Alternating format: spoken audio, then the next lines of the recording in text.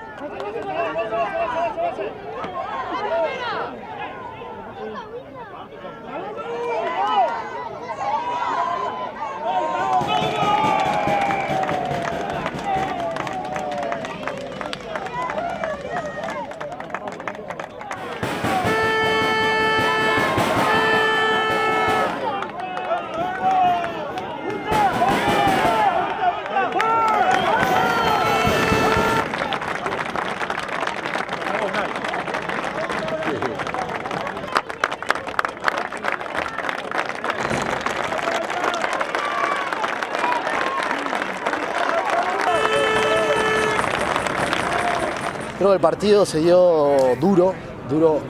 Eh, sabíamos a lo que íbamos, nosotros íbamos a una batalla grande, sin saber que, nos íbamos a contar también con un, con un pack de, de, la vila también muy, muy formado, muy aguerrido, que no solo tenían gente por afuera, entonces con un, en, definitiva un equipo muy completo. Creo que el primer tiempo fue muy igualado y en el segundo tiempo, los 10 minutos nosotros, 10, 20 minutos del segundo tiempo, este, creo que seguimos nosotros físicamente y mentalmente y la vila estuvo, estuvo bien fuerte y supo aprovechar esos minutos donde, donde nos sacó puntos. La última parte del partido fue pareja como fue el primer tiempo. Creo que la clave estuvo en el inicio, creo que la vila salió fuerte y, los, dejamos venir. Nada, y ahora lo que nos espera, ¿no? Volver para allá, tratar de arreglar, tratar de mejorar y ver si podemos acercarnos y, que sea lo que Dios quiera. Han planteado un partido físico, en defensa eh, nos han parado bien, luego en melea han ido muy fuertes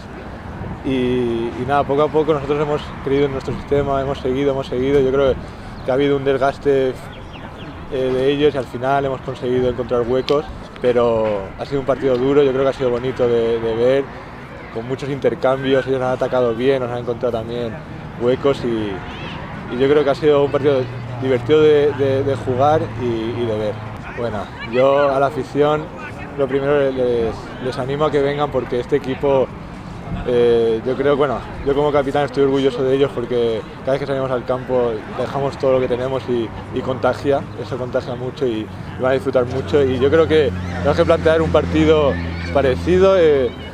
no tenemos que cambiar nada sino seguir igual y confiando en, nosotros y en nuestro sistema.